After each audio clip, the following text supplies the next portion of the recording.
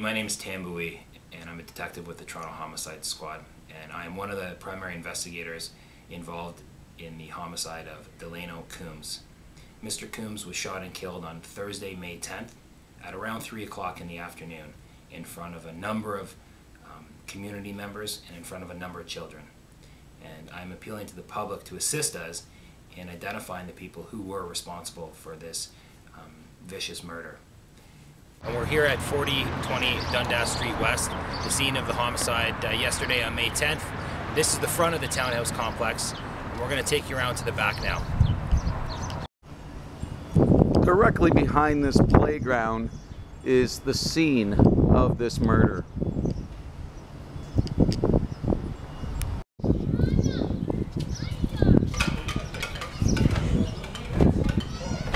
The area of this murder, there are many young children and many families living in the area. Mr. Coombs um, was a, originally a resident of this neighborhood, and he had recently come back and was visiting some friends. And for an unknown reason, I believe that he was targeted um, and singled out in that community and shot to his death. This is the area directly behind the playground where the murder occurred.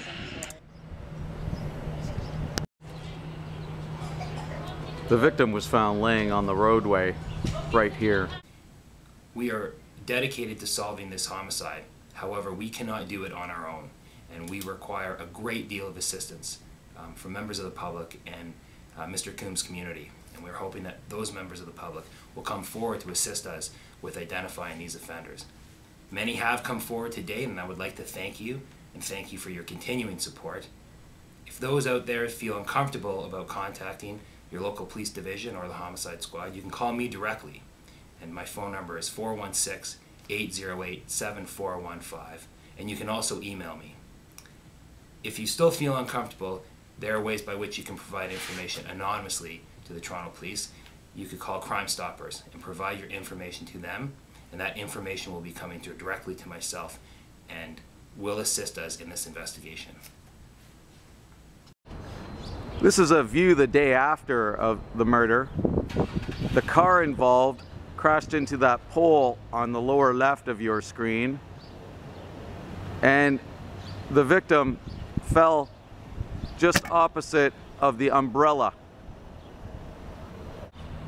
If you have any information that could help stop, prevent, or solve a crime in this area or any area, please submit your information anonymously to Crime Stoppers in Toronto 1-800-222-8477 222tips.com or text TOR plus your message to 274637. That information is relayed to police officers patrolling the area that they can act on and try and prevent a violent incident from occurring.